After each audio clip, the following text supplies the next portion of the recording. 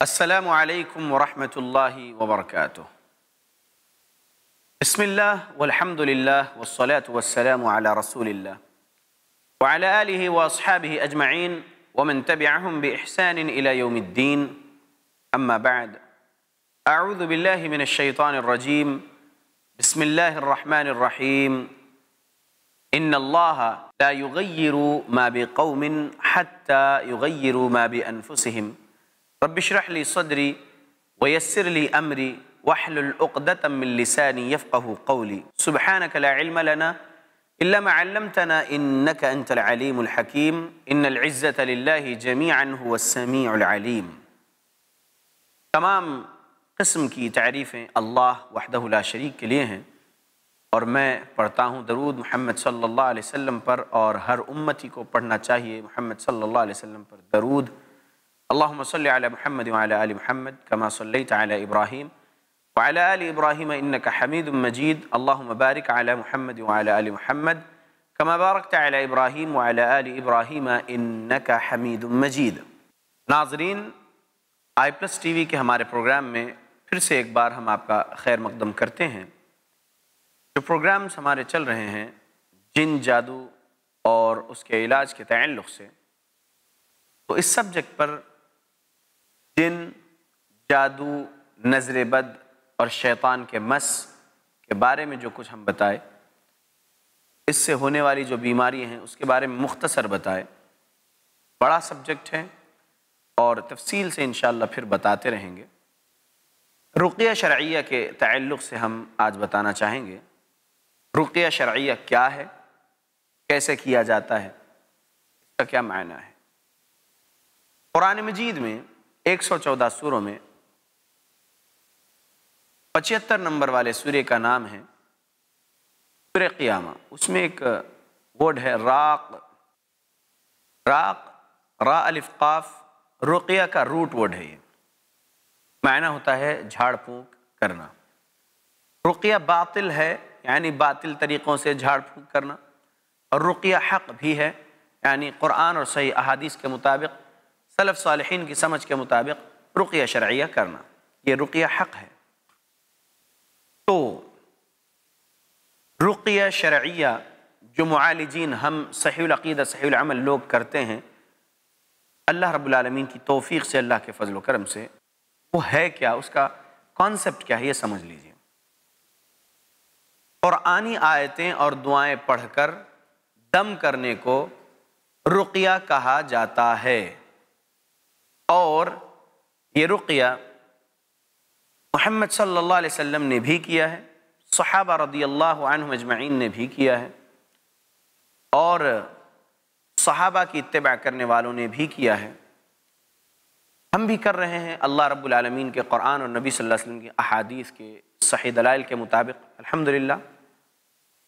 محمد صلی اللہ علیہ وسلم نے رقیہ کیا ہے، امام بخاری رحمۃ اللہ علیہ نے، صحیح بخاری میں ایک باب باندھے ہیں رقیت النبی صلی اللہ علیہ وسلم۔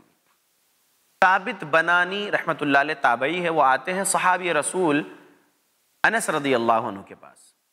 اور اپنی کیفیت بیان کرتے ہیں۔ تو انس رضی اللہ عنہ ان سے سوال کرتے ہیں، کیا میں تمہیں وہ رقیہ نہ کروں جو رسول اللہ صلی اللہ علیہ وسلم نے سکھایا ہے؟ ثابت بنانی رحمۃ اللہ علیہ کہتے ہیں، کیوں نہیں ضرور؟ تب انس رضی اللہ عنہ کہتے ہیں، اللہم رب الناس اذهب البأس واشفی انت الشافی لا شفا الا شفاؤک شفاء لا يغادر سقما. معنی اللہم اے میرے اللہ رب الناس اے انسانوں کے رب. اذهب البأس. دور کر دیجیے اس تکلیف کو. وشفی اور شفا دیجیے. انت الشافی صرف آپ شفا دینے والے ہیں. لا شفا، کہیں شفا نہیں ہے۔ الا شفاؤک، سوائے آپ کی شفا کے۔ شفا ان لا یغادر سقما ایسی شفا دیجیے کہ بیماری جڑ سے ختم ہو جائے۔ محمد صلی اللہ علیہ وسلم سے سیکھا ہوا رقیہ انس رضی اللہ عنہ نے تابعی پر کیے۔ محمد رسول اللہ صلی اللہ علیہ وسلم خود اپنے آپ پر رقیہ کرتے تھے۔ 5735 نمبر والی حدیث صحیح بخاری میں ہے۔ کتاب الطب میں، عائشہ رضی اللہ عنہ، ہم ایمان والوں کی ماں محمد صلی اللہ علیہ وسلم کی زوج محترمہ فرماتی ہیں کہ نبی صلی اللہ علیہ وسلم رات میں سونے سے پہلے اپنے دونوں ہتیلیے اس طریقے سے اپنے ایسا قریب کر کے سر اخلاص سر فلق سر ناس پڑھ کر تین تین مرتبہ اس میں دم کرتے اور پھر اپنے چہرے پر اور سامنے سے اپنے جسم پر پھیرتے، پھر پیچھے بھی ہاتھ پھیر لیتے۔ جب آپ کی وفات سے پہلے آپ کا مرض جب بڑھ گیا تو میں آپ صلی اللہ علیہ وسلم پر وہ عمل کر دیا کرتی تھی کہ میں پڑھتی تھی، کہا عائشہ رضی اللہ عنہ نے، اور محمد صلی اللہ علیہ وسلم کی ہتھیلیاں لے کر ان میں پھونک مارتے عائشہ رضی اللہ عنہ، دم کرتے جن میں تھوک کے چند چیٹے ہو، اور پھر محمد صلی اللہ علیہ وسلم کی ہاتھ جو ہے آپ صلی اللہ علیہ وسلم کے جسم پہ پھیر دیتے تھے۔ دلیل ملی کہ نبی صلی اللہ علیہ وسلم خود اپنے آپ پر رقیہ کیا، عائشہ رضی اللہ عنہ نبی صلى الله عليه وسلم پر رقیہ کیے جبرائیل علیہ السلام محمد صلى الله عليه وسلم پر رقیہ کیے بسم الله يرقيك والله يشفيك من كل داء فيك ومن شر النفاثات في العقد ومن شر حاسد اذا حسد ومن شر كل ذي عين دعا ہے جبرائیل نے نبی صلی اللہ وسلم پر رقیہ کیے ہیں کرتا ہوں میں دم ایسا ہے وہ دعا محمد رسول اللہ صلی اللہ علیہ وسلم کے صحابی ایک سفر پر تھے، کچھ صحابہ ان کے ساتھ تھے۔ وہ صحابی کا نام ابو سعید خدری رضی اللہ عنہ۔ سفر سے واپس ہوتے ہوئے کسی قبیلے پر وہ لوگ نے پڑاؤ کیے۔ قبیلے والوں سے مہمان نوازی چاہے۔ ان کے پاس کھانے کو کچھ نہیں تھا، صحابہ کے پاس تو پوچھے، لیکن وہ قبیلے والوں نے صحابہ کی تکریم نہیں کیے اللہ کی مشیت سے اس قبیلے کے سردار جو غیر مسلم تھا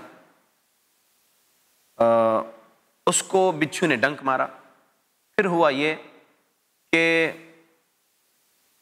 اللہ رب العالمین کے کئی بندے اس قبیلے میں جو طبیب تھے، اس بادشاہ کا، اس راجہ کا، اس قبیلے کے سردار کا علاج کیے لیکن علاج نہیں ہوا۔ تو قبیلے کے لوگوں میں سے کوئی ایک شخص آیا، آ کر صحابہ سے پوچھا، تم میں کوئی علاج کرنے والا ہے کیا؟ ہمارے سردار کو ایسا ہوا ہے۔ تب صحابی رسول ابو سعید خدری رضی اللہ عنہ کہتے ہیں کہ، بے شک میں رقیہ کرنا جانتا ہوں، لیکن ہم اس کی اجرت لیں گے۔ امام بخاری رحمۃ اللہ علیہ، صحیح بخاری میں حدیث نقل کیے ہیں۔ حدیث کے اوپر باب باندھے ہیں، شرط فی الرقیتی بفاتحت الکتاب۔ صحیح بخاری میں حدیث تو پانچ ہزار سات سو چھتیس اور سینتیس دیکھیں اور پھر پانچ ہزار سات سو انچاس نمبر والی حدیث بھی ہے۔ ابو سعید خدری رضی اللہ عنہ گئے جا کر سورہ فاتحہ کی تلاوت کیے۔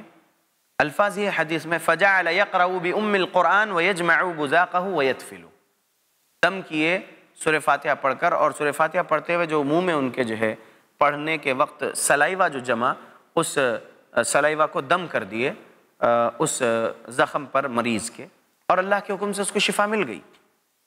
تو صحابہ نے بھی رقیہ کیے دلائل ہمارے سامنے ہے فائیو سیون فور نائن تفصیل سے ہے واقعہ اس حدیث کا، جو ابو سعید خدری رضی اللہ عنہ والا واقعہ۔ اس میں یہ ہے کہ شرط کیوں لگائے پیسے لینے کی؟ شرط اس لیے لگائے کیونکہ وہ لوگ عزت نہیں کرے ان کی مہمان نوازی نہیں کرے اور اگر کرتے وہ قبیلے والے صحابہ کی مہمان نوازی تو پیسہ نہیں مانگتے، شرط نہیں مانگتے اور پیسہ بھی نہیں مانگے، کچھ بکریوں پر طے ہوا۔ فائیو سیون فور نائن صحیح بخاری۔ وہ لوگ آئے، تم میں کوئی علاج کرنے والا ہے کیا؟ سوال کیے، صحابی رسول ابو سعید خدری رضی اللہ عنہ نے جواب دیا جی ہاں۔ فرمائے کہ جو ہے، ہم اس کی اجرت لیں گے۔ کیونکہ ہم نے تم سے مہمان نوازی چاہے لیکن تم نے ہماری مہمان نوازی نہیں کیے۔ ہم مسافر ہیں۔ اس وجہ سے ہم اس کی اجرت لیں گے۔ یہ بات واضح طور پر صحابی نے فرما دیے، بول دیے، اور یہ الفاظ حدیث میں موجود ہے فائیو سیون فور نائن تو وہاں پر رقیہ کیے، تیس بکریاں مل گئے۔ صحابی رسول، تیس بکریاں، وہ تین سو صحابہ تھے۔ جو ساتھ میں تھے فائیو سیون فور نائن اور five seven three seven number والے حدیث صحیح بخاری کے مطابق۔ نہیں تقسیم کیے، لوگوں نے کہا چلو تقسیم کر لیتے ہیں۔ صحابی رسول لے کر نبی صلی اللہ علیہ وسلم کے پاس آئے اور واقعہ پورا بیان کیے کہ ایسا ہوا ہے۔ اب یہ ہمارے لیے جائز ہے یا نہیں؟ تب نبی صلی اللہ علیہ وسلم نے کہا کہ تم پڑھے کیا؟ بولے سور فاتحہ۔ نبی صلی اللہ علیہ وسلم نے کہا کہ جو ہے، اس میں میرا بھی ایک حصہ لگا دو۔ تو معلوم یہ ہوا کہ وہ جائز ہے لینا۔ لیکن مانگنے کی ایک بھی دلیل میرے پاس آج تک نہیں ملی ہے، ایک بھی دلیل نہیں ملی۔ رقیہ شرعیہ کر رہے ہیں، اچھی بات ہے کیجیے لیکن رقیہ کرنے والے بھی کچھ لوگ ہیں جو ڈیمانڈ کر رہے ہیں پیسے۔ دس ہزار، پچیس ہزار، پچاس ہزار، ایک لاکھ اور زیادہ بھی یا اس کے قریب پیسہ مانگ رہے ہیں۔ ایک جن شیطان اگر کسی عورت یا مرد میں ہے تو رقیہ کر کے اس کو نکالنے کے لیے جو ہے اتنی اتنی فیس ڈیمانڈ کر رہے ہیں۔ رقیہ سے پہلے ہی ڈیمانڈ ہو جاتا، کبھی رقیہ کے درمیان میں، کبھی رقیہ کے بعد۔ ایسا نہیں کرنا چاہیے۔ مجھے ڈیمانڈ کرنے کی ایک بھی حدیث نہیں ملی۔ رقیہ کرنے کی حدیث تو ہے۔ شرط لگائے، امام بخاری شرط پھر رقیتی بفاتحت الکتاب باب باندھ دیے، ٹھیک ہے۔ لیکن وہاں پر یہ وضاحت بھی موجود ہے حدیث میں کہ اگر وہ لوگ مہمان نوازی ان کی کرتے صحابہ کی، وہ قبیلے والے جو نان مسلمز تھے، کفار تھے۔ تو صحابہ، صحابی رسول ابو سعید رضی اللہ عنہ ان سے کبھی اجرت نہیں مانگتے۔ وجہ تھی وہاں پر، اس وجہ سے اجرت مانگے، لیکن ڈیمانڈ نہیں کیے۔ تو آج ہمارے پاس ڈیمانڈ کرنے والے بہت سارے ہیں، رقیہ کے ذریعے سے جو پیسے لوٹ رہے ہیں، کہوں گا میں تو۔ نہیں لوٹنا چاہیے، نہیں لینا چاہیے، نہیں مانگنا چاہیے۔ اب اگر کوئی دے رہا ہے خوشی سے، تو وہ الگ بات ہے۔ جیسے دلیل ہے اس کے لیے بھی۔ اور پھر خوشی سے لینے کی بات بھی ایسی نہ ہو کہ ہم رقیہ کرنے گئے۔ وہاں جانے کے بعد دیکھیے میری کوئی فیس نہیں ہے، میرے کوئی چارجز نہیں ہے لیکن میں جو ہے خوشی سے لے لیتا ہوں، بند مٹھی لے لیتا ہوں۔ ایسا بھی کہنا غلط ہے۔ آپ پہلے ہی اس کو بتا دے رہے کہ میری کوئی فیس نہیں ہے چارجز نہیں ہے لیکن جو ہے خوشی سے لے لیتا ہوں۔ اس کا مطلب جانے سے پہلے جو ہے نذرانہ جیب میں کچھ نہ کچھ رکھ دے پیشنٹ کے گھر والے۔ ایسا نہیں ہونا چاہیے۔ اللہ کی رضا کے لیے رقیہ کرنا چاہیے۔ اللہ رب العالمین کا ایک بندہ تکلیف میں، آج ہم اس کی تکلیف کو دور کریں گے۔ انشاءاللہ بھی اذن اللہ ایک سیکھے ہوئے ایک عمل رقیہ شرعیہ کا الحمدللہ کر دیے۔ کسی کی تکلیف ختم ہوئی تو کل قیامت کے دن ہم پر سے کوئی تکلیف اللہ دور کر دیں گے اور حدیث رسول ہے۔ لہٰذا ہمیں اس بات پر غور و فکر کرنا چاہیے، مانگنا نہیں چاہیے، ڈیمانڈ نہیں کرنا چاہیے۔ سچ میں آپ کی نیت نہیں ہے خوشی سے بھی لینے کی، لیکن اللہ کا کوئی بندہ آپ کو دینا چاہتا ہے خوشی سے۔ تب لے لیے تو کچھ اور بات ہے، اس کے لیے دلیل۔ سنن ابو داود حدیث number three, eight nine six. تین ہزار آٹھ سو چھیانوے۔ تین ہزار آٹھ سو چھیانوے نمبر والی جو حدیث سنن ابو داود کی ہے، وہ اس طرح ہے کہ خارجہ بن صلت التمیمی رضی اللہ عنہ اپنے چچا سے روایت کرتے ہیں۔ سنن ابو داود حدیث number three thousand eight hundred and ninety six اور سنن ابو داود حدیث number three thousand nine hundred and one اس میں یہ سبق ہے کہ اگر کوئی خوشی سے دے رہا ہے کچھ اجرت، تحفہ، ہدیہ، تو لے سکتے ہیں رقیہ کر کے۔ خارجہ بن صلت التمیمی رضی اللہ عنہ اپنے سگے چچا کا ایک واقعہ بیان کرتے ہیں کہ وہ محمد صلی اللہ علیہ وسلم کے پاس گئے، اسلام قبول کیے اور پھر رسول اللہ صلی اللہ علیہ وسلم سے جو سیکھے اسلامی تعلیمات، واپس اپنے دیہات کو جب ہو رہے تھے تو راستے میں ایک دیہات سے گزرتے ہوئے کچھ لوگوں نے ان سے کہا کہ تم ہمارے پاس ایک مجنون شخص ہے، اس کے لیے کچھ خیر جانتے ہو، کیا تم خیر والے کے پاس سے آ رہے ہو؟ صحابی رسول نے وہاں پر تین روز، تین دن رک کر صورت الفاتحہ کی تلاوت کیے، دم کیے اور اللہ رب العالمین کے حکم سے شفا مل گئی اس لڑکے کو جو مجنون تھا، زنجیروں میں بندھا ہوا تھا۔ ٹھیک ہو گیا اللہ کے حکم سے۔ تب وہ جو پیشنٹ کے، جو مریض کے گھر والے تھے، سو بکریاں دیے۔ اور صحابی رسول رسول اللہ صلی اللہ علیہ وسلم کے پاس پھر واپس آئے اور واقعہ بیان کیے کہ یہ لوگ مجھے ایسے سو بکریاں دے رہے ہیں۔ نبی صلی اللہ علیہ وسلم نے کہا، کیا پڑھے؟ سورہ فاتحہ۔ اس کے علاوہ کچھ اور پڑھے؟ بولے، نہیں۔ خودھا 3896 نمبر والی حدیث میں الفاظ ہے اور 3901 نمبر والی حدیث میں ہے سنن ابو داؤد کی۔ کل فلعمری لمن اکل برقیت باطل لقد اکلت برقیت حق۔ یقیناً کچھ لوگ باطل دم جھاڑ کے ذریعے سے، باطل رقیہ کے ذریعے سے کھاتے ہیں۔ تم نے حق رقیہ کیا ہے، تم خود ہا لے لو اسے، کل کھا لو اسے۔ تو اللہ کے نبی صلی اللہ علیہ وسلم کی اجازت ہے کہ اگر کوئی خوشی سے دے تو لے لے۔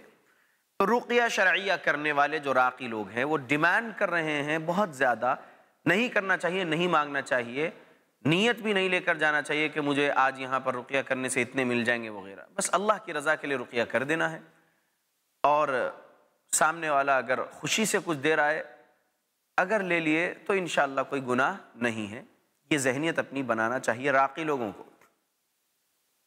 کچھ رقیہ کرنے والے ایسے ہوتے ہیں جو سگریٹ پی رہے ہیں۔ اور کچھ لوگ ہیں جو تمباکو بھی کھاتے ہیں۔ اللہ کی قسم رقیہ شرعیہ کرنے والا یہ کام نہیں کرنا اور ہر انسان یہ کام نہیں کرنا دلیل ہمارے پاس ہے قرآن سے بھی اور حدیث سے بھی۔ دلیل قرآن سے اللہ رب العالمین نے فرمایا، سورہ آراف، سورہ نمبر سیون، آیت نمبر ون ففٹی سیون وَيُحِلُّ لَهُمُ الطَّيِّبَاتِ وَيُحَرِّمُ عَلَيْهِمُ الْخَبَائِثِ۔ اللہ نے فرمایا ہے تمہارے لیے طیب چیزیں حلال ہے اور خبیث چیزیں، نجس چیزیں، حرام ہیں۔ تمباکو جس سے گٹکا بن رہا ہے، سگریٹ بن رہا ہے، وہ نجس چیز ہے، وہ حرام ہے وہ۔ اور بیچنے والا خود کہتا ہے، پہلے پرنٹ ہوتا تھا tobacco is injurious to health smoking is injurious to health پھر بعد میں ٹوبیکو کازس کینسر ایسا پرنٹ آنے لگا۔ اسموکنگ کازس کینسر ایسا پرنٹ آنے لگا۔ اب جو پرنٹ ہے اسموکنگ کلس ٹوبیکو کلس بیچنے والے خود بول رہے کہ یہ موت ہے۔ لیکن سگریٹ پی رہے لوگ اور تمباکو چاپ رہے لوگ، اللہ ہدایت دے۔ تو نہیں استعمال کرنا چاہیے ایسی چیزیں جس سے اپنے جسم کو تکلیف ہو۔ یعنی جان ہلاکت میں ڈالنے والا کام ہے۔ اور اللہ رب العالمین نے منع فرمایا ہے تو رکنا ہے۔ اپنے آپ کا قتل نہیں کرنا ہے، خودکشی نہیں کرنا ہے۔ تو ایک ساتھ زہر کھا لے کر بھی خودکشی کر رہا ہے بندہ۔ اور اگر تھوڑا تھوڑا سلو پوائزن لے رہا ہے بھی تو خودکشی میں شمار ہوگا۔ لہذا یہ سب چیزوں سے اپنے آپ کو دور رکھنا چاہیے۔ ہر انسان اور خاص کر کے جو معالج ہے، علاج کرنے والے، ان کے اوصاف عام انسانوں سے ذرا ہٹ کے ہونا چاہیے۔ وہ لوگ جھوٹ سے بچیں، چغلی سے بچیں، الزامات جھوٹے جو لگائے جاتے ہیں، وہ سب جھوٹے کاموں سے بچے الزامات لگانے سے، سگریٹ اور تمباکو وغیرہ سے نفرت کریں۔ ایسا ہونا چاہیے، معالج کو۔ کرتے ہیں، کچھ معالج اللہ ہدایت دے، آمین۔ کچھ معالجین ہوتے ہیں جن کو قرآن کا حق ادا کرنا نہیں معلوم۔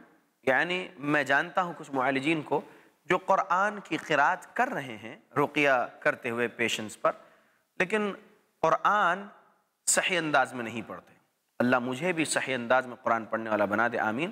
لیکن کوشش یہ کرنا چاہیے ہمیں کہ حروف کی ادائیگی صحیح ہو، تاکہ تا پڑھ دیتے ہیں، میں دیکھتا ہوں۔ ایسا نہیں ہونا چاہیے۔ بعد کو زا پڑھ رہے ہیں، ایسا نہیں ہونا چاہیے۔ معنی تبدیل ہو سکتا ہے۔ لہٰذا معالجین کو اس بات پر زیادہ سے زیادہ غور فکر کرنا چاہیے کہ جو قرآن ان کا ہتھیار ہے، جس کو پڑھ کر جن شیطان کو بھگانا چاہتے ہیں، انسانی جسم میں جو مسلط ہے، یا پھر جادو وغیرہ کو کاٹنے کے لیے رقیہ کر رہے ہیں کوئی معالج کسی پیشنس پر۔ تو جو ہتھیار ہے وہ تیز ہونا چاہیے، قرآن کو اچھے انداز میں پڑھنا چاہیے۔ خود اگر پیشنٹ بھی اپنے آپ پر رقیہ کر رہے ہیں، سیلف رقیہ کر سکتے ہیں، تو قرآن کو اچھے انداز میں پڑھیں، اس کا معنی سمجھتے ہوئے پڑھے فائدہ ہوگا انشاءاللہ۔ رقیہ کرنا جائز ہے۔ رقیہ کی فیس مانگنا، ڈیمانڈ کرنا، یہ چیز مجھے آج تک کوئی دلیل نہیں ملی قرآن و حدیث سے۔ کوئی خوشی سے دے تو یہ لے سکتے ہیں، دلیل میں نے سنایا۔ رقیہ کرنے والے کے جو اوصاف ہیں، سب سے پہلی بات یہ ہونا چاہیے کہ وہ بندہ کتاب و سنت کے مطابق اپنا ایمان و عمل بنایا ہوا ہو۔ صحابہ کے عقید اور اعمال کے مطابق اس کا ایمان و عمل ہو، ٹکرانے والا نہ ہو ایمان و عمل صحابہ سے۔ معالج کا اور ہر انسان کا، ہر مسلمان کا۔ دوسری چیز، نماز نہیں کہوں گا، تیسرے پہ نماز کہوں گا، دوسری چیز ہے، حرام و حلال کی تمیز ہو۔ سود حرام ہے۔ 2086 نمبر والی حدیث ہے۔ صحیح بخاری میں جابر رضی اللہ عنہ راوی ہے نبی صلی اللہ علیہ وسلم فرمائے، چار لوگ گناہ میں برابر ہے سود کے۔ لینے والا، دینے والا، گواہ بننے والا اور تحریر کرنے والا۔ تو چاروں کو برابر کا گناہ ملے گا۔ لہذا سود حرام ہے۔ اللہ نے سورہ بقرہ آیت نمبر 275 سے 279 تک جو سود کا ذکر کیا ہے، اس میں ہے کہ احل اللہ البیع وحرم الربا۔ حلال کیا، اللہ نے تجارت کو، حرام کیا، اللہ نے سود کو۔ لہذا حرام کھانے سے بچنا چاہیے معالج کو اور ہر مسلمان کو۔ جب دوسری چیز کا لحاظ رکھ رہا ہے کہ ہاں حرام نہیں جا رہا، کیونکہ دعا قبول ہوگی نہیں اگر حرام لقمہ اترے گا حلق سے تو۔ دوسری چیز پر اگر وہ غور فکر کر لیا گیا اور الحمدللہ حلال ہی کی تلاش میں اور حلال ہی کھاتا ہے، حلال ہی پیسوں سے جو ہے پہنتا ہے اور حلال ہی کھلاتا ہے گھر والوں کو، تو اچھی بات ہے، الحمدللہ، اس کی دعا انشاءاللہ قبول ہوگی۔ تیسری چیز ہے، نماز کی پابندی کرے، معالج ہو یا خود پیشنٹ اپنے آپ کا رقیہ کر رہا ہو نمازوں کی پابندی ہونا، نماز ایک وقت کی بھی نہیں چھوڑنا۔ چھبیس سو بائیس نمبر والی حدیث جامع ترمیزی کی ہے۔ عبداللہ بن شقیق رحمت اللہ علیہ تابعی ہے، فرماتے ہیں، صحابہ رضی اللہ عنہ مجمعین نماز کے چھوڑنے والے کو کافر سمجھتے تھے۔ کیونکہ صحابہ کے دور میں جو منافقین تھے، وہ نماز میں آتے تھے اور ان کے بارے میں اللہ نے قرآن میں کہہ دیا ہے کہ وہ نماز میں آتے ہیں تو قامو کسالہ سستی کے ساتھ کھڑے ہوتے ہیں، یوراؤن الناس اور وہ لوگ لوگوں کو دکھانے کے لیے جو ہے نماز پڑھتے ہیں۔ ولا يذكرون اللہ اللہ قلیلہ اور ذکر بھی کرتے ہیں نماز میں یعنی قرآن، نماز میں جو قرآن پڑھنا ہے وہ بہت تھوڑا پڑھتے ہیں۔ تو منافقین کی نماز کے بارے میں اللہ نے خود قرآن میں فرما دیا۔ تو منافقین بھی نماز پڑھنے آتے تھے۔ صحابہ کے پیچھے، صحابہ کی صفوں میں کھڑتے تھے۔ صحابہ کا ایمان تھا کہ جو بندہ نماز چھوڑ رہا ہے، وہ کافر ہے، وہ کفر کرنے والا ہے۔ کیونکہ نبی کی حدیث ہے سامنے۔ بین الایمان والکفر ترک الصلاح چھبیس سو اٹھارہ، جامع ترمیزی کی۔ تو نماز کی پابندی ہونا ہے، نماز نہیں چھوڑنا ہے۔ معالج ہو یا پھر پیشنٹ ہو اور ہر مسلمان نماز نہیں چھوڑنا چاہیے۔ چوتھی چیز،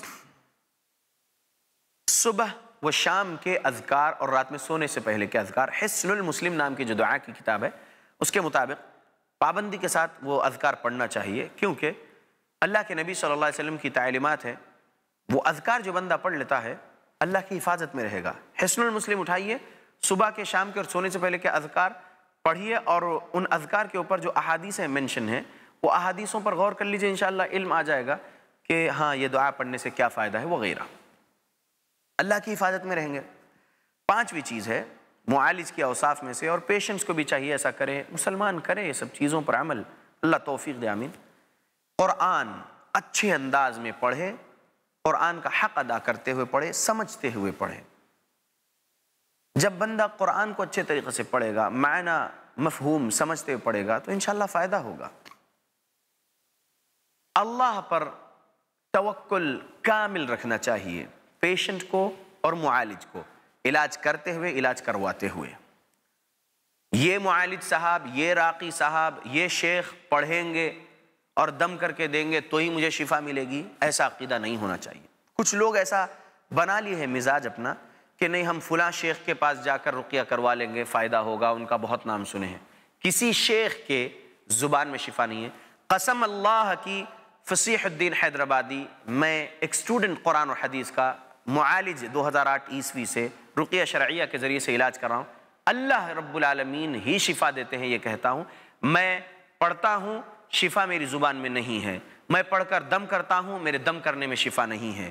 میں پانی پر دم کر کے دوں یا تیل پر دم کر کے دوں یا شہد پہ دم کر کے دوں یا ڈائریکٹ پیشنٹ پہ دم کروں، میرے دم کرنے میں شفا نہیں ہے، کسی بھی شیخ کے دم کرنے میں شفا نہیں ہے۔ شفا اللہ کے حکم سے ملنے والی ہے۔ شفا اللہ کے حکم سے ملنے والی ہے۔ ہم ایمان رکھتے ہیں کہ قرآن کے بارے میں قرآن نازل کرنے والے۔ رب نے جو فرمایا، اس بات پر ایمان ہے ہمارا۔ ہم یہ ایمان رکھتے ہیں کہ جی ہاں قرآن میں شفا ہے۔ قرآن پڑھ رہے، رب کا حکم ہوگا تو شفا ملے گی انشاءاللہ۔ رب کا حکم نہیں ہوگا، شفا نہیں ملے گی۔ آزمائش میں رکھنا چاہ رہے اللہ رب العالمین، تو آزمائش میں رکھیں گے۔ سالوں سے جو ہے قرآن پڑھ رہے، قرآن سن رہے، لیکن تکلیف نہیں ختم ہو رہی، تو سمجھ لیجیے، کسی شیخ میں شفا نہیں ہے، کسی شیخ کے پڑھنے میں شفا نہیں ہے۔ خود محمد رسول اللہ صلی اللہ علیہ وسلم کی حدیث میں نے آپ کو سنایا، پانچ ہزار سات سو بیالیس نمبر والے حدیث بریک سے پہلے ثابت بنانی رحمت اللہ علیہ، جو آئے تابعی انس رضی اللہ عنہ کے پاس اور انہوں نے شفا کے لیے اللہ سے دعا کیے اور اللہ رب العالمین کے نبی سے جو سیکھا ہوا رقیہ وہ پڑھے۔ اس کے الفاظ واضح ہیں۔ اللہم اے میرے اللہ رب الناس، انسانوں کے رب۔ اذہب البأس۔ اس تکلیف کو دور کر دیجیے۔ وشفی اور شفا دیجیے۔ انت الشافی۔ آپ ہی شفا دینے والے ہیں۔ لا شفا۔ الا شفاؤک۔ شفاء لا یغادر سقاما۔ نہیں ہے شفا سوائے آپ کی شفا کے۔ اللہ سے کہنا ہے۔ اللہ کے نبی نے خود کہا، انت الشافی۔ معلوم ہو رہا ہے ہمیں صحیح بخاری حدیث پانچ ہزار سات سو بیالیس سے کہ نبی نے کہا اللہ کو کہ یا اللہ میری تکلیف کو دور کیجیے اور شفا مجھے آپ عطا کیجیے، شفا کہیں نہیں ہے، لا شفا کہیں نہیں ہے، الا شفا سوائے آپ کی شفا کے یا اللہ۔ محمد رسول اللہ صلی اللہ علیہ وسلم شفا اللہ سے مانگ رہے نبی خود اپنے آپ کو شفا نہیں دے سکے تو کوئی معالج، کوئی راقی، شرعی کسی کو شفا دے سکتا ہے؟ ہرگز نہیں دے سکتا۔ معالج کو خود اگر کوئی بیماری چھو جائے تو معالج اپنے آپ کو شفا نہیں دے سکتا، تو مریضوں کو کہاں سے شفا دے گا؟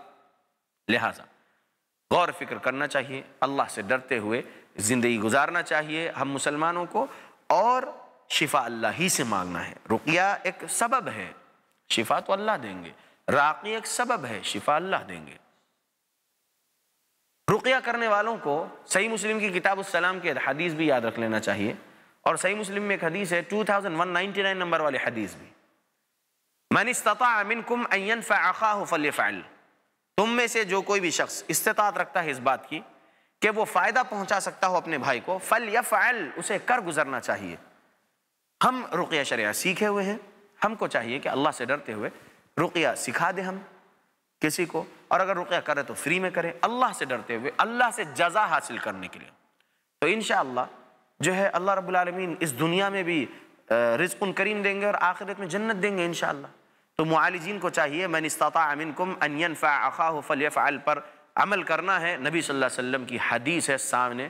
تو اس بات کو ذہن میں رکھتے ہوئے لالچی پن میں نہیں رہنا ہے کہ نہیں جو ہے پیشنٹ کے گھر والے کچھ زیادہ رئیس ہے ان سے پیسہ مل جائے گا، ڈیمانڈ کرو یا پھر نیت رکھ کے جاؤ، ایسا نہیں ہونا چاہیے۔ مدد کرنے کے لیے، کچھ نفع پہنچانے کی نیت کے ساتھ جو ہے ہمیں رقیہ شرعیہ کرنا چاہیے۔ اللہ سے میں دعا کرتا ہوں۔ اللہ رب العالمین ہم مسلمانوں کو کتاب و سنت کی تعلیمات حاصل کرنے کی توفیق دے، تقوی عطا کرے اللہ ہم سب کو۔ آمین۔ اور اللہ رب العالمین موت اس حالت میں دے کہ ہم اللہ سے راضی رہے، اللہ ہم سے راضی رہے۔ ناظرین، انشاءاللہ تسلسل جاری ہے۔ آئندہ نشست میں اور مزید معلومات کتاب و سنت کے صحیح دلائل سے ہم جن جادو اور اس کے علاج کے سبجیکٹ پر لے کر حاضر ہوتے ہیں، تب تک کے لیے اجازت دیجیے۔ السلام علیکم ورحمۃ اللہ وبرکاتہ۔